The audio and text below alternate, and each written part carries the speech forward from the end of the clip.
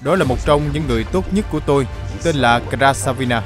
Tôi đã cử anh ta đi trinh sát, nhưng đến tận bây giờ anh ta vẫn bật vô âm tính.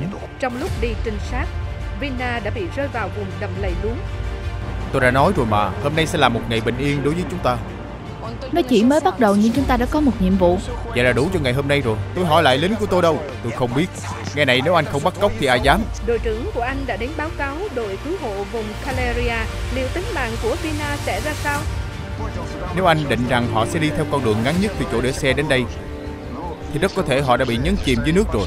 Sẽ không có một dấu vết nào cả. Vậy thật sự cuối cùng cậu và Rex đã chấm dứt chưa? Lâu rồi bọn mình không nói chuyện với nhau. Anh ấy không gọi cũng không viết thư. Cậu có thể rộng lượng cho hai người một cơ hội nữa không? Tôi quá chán nản và muốn buông xuôi tất cả sau chuyến đi Caralia vừa rồi.